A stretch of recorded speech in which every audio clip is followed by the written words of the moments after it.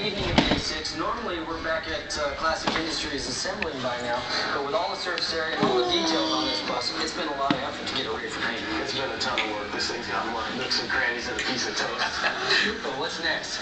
We're gonna shoot a coat of sealer on it, and then we'll put the red on first, take that off, do the second color, which is the cream color.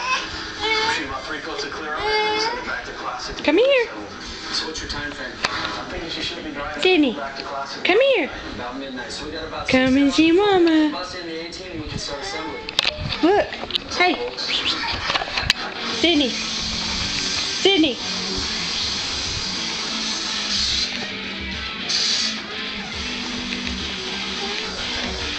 Come get it.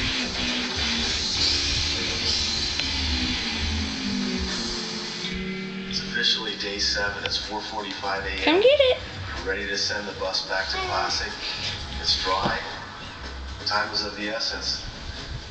Get out of here. Well, come here. Hey, Wall, let's roll this thing out of here.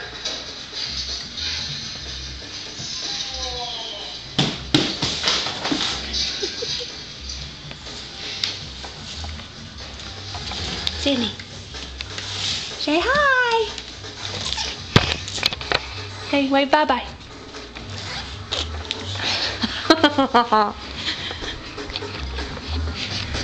Let's push it some more. Push it. Push it. Push it.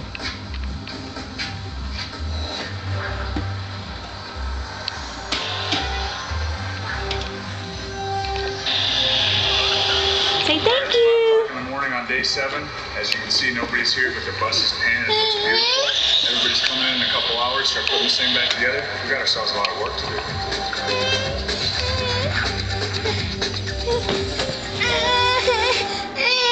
Well, come here.